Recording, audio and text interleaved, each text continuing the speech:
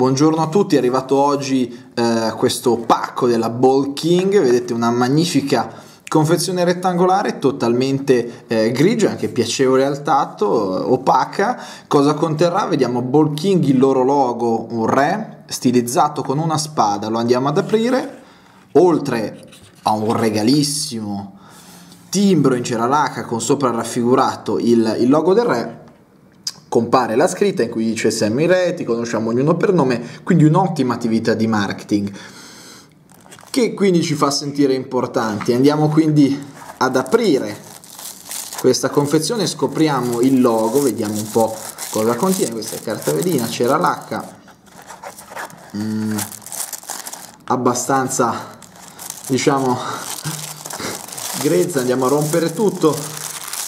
Ecco, vediamo cosa contiene il pacco. Innanzitutto un fogliettino, dice il welcome kit, buongiorno, speriamo che tu stia bene con noi, insomma tutte mm, le informazioni anche relative al sito. Eh, l'altro lato un'immagine più grafica riguardo al contenuto, ma andiamo a vedere cosa c'è in questa confezione, cosa c'è in questo contenuto. Questo è un welcome kit, dovrebbe essere eh, un kit con tutto il necessario per tagliarsi la barba in un modo rivoluzionario, in un modo che Gillette e gli altri forse non hanno ancora compreso.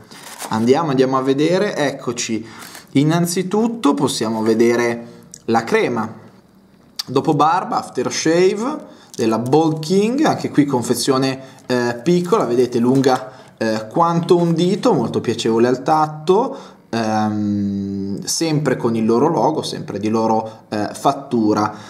Andiamo a vedere poi eh, gli altri elementi, abbiamo le lamette, le lamette Ball King, vedete sono quattro, quattro lamette come promesso, guardate la distanza tra le lame, sono estremamente più distanti rispetto ai concorrenti che sono Gillette e Wilkinson, possiamo vedere distintamente 1 o 2 mm tra di loro, poi le proveremo e vi diremo eh, qual è la differenza. Qui abbiamo un'altra delle altre carte con eh, dei manuali e poi infine il manico, lo strumento con il quale si va a tagliare la barba con il relativo, vedete, un buco al centro che si sommerà al eh, poggia eh, manico diciamo per appenderlo alla parete.